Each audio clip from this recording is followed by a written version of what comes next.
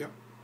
Okay, we've removed the plastic rod that's in there. Actually, I've shoved it all the way through down inside behind the tub. I pre-drilled this hole bigger to fit our rod. Now we're gonna do this one. We're using a unibit, inch unibit.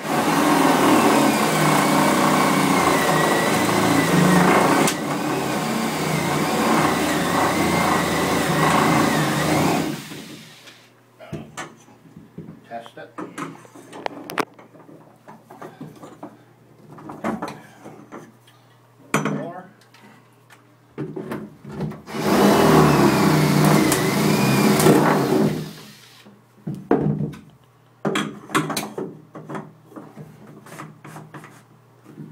Now we're gonna set the pins.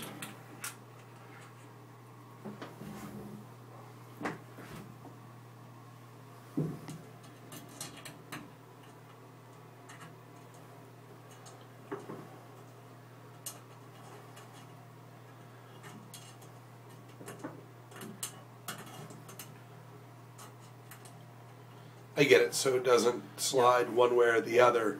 Yep.